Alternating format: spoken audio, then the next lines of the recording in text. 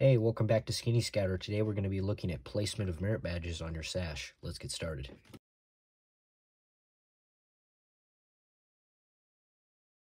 So, put very simply, from the very top of your sash, you're going to go a half inch down, and that's where you're going to start your first row of three. Each row below that almost touches the merit badge above it and keeps going down all the way down the sash. Now, with that said, another question arises as to what order you put them in. Now, there is no specified order. You can put them in any order you want.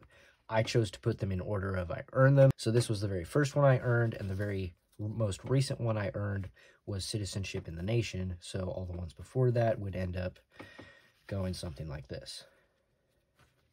So when you get a brand new sash, it might be hard to know which side's the back and which side's the front. An easy way to tell is that it is worn over the right shoulder. So you know that at the bottom here, if you're looking at the front, this is the orientation that the bottom is going to look. Also, in my troop, our 50 miler patches, we put them on the back of our sash. Now we start these one patch size down from the top and work our way down. I hope this helped. Thanks for watching, and I'll see you in the next one.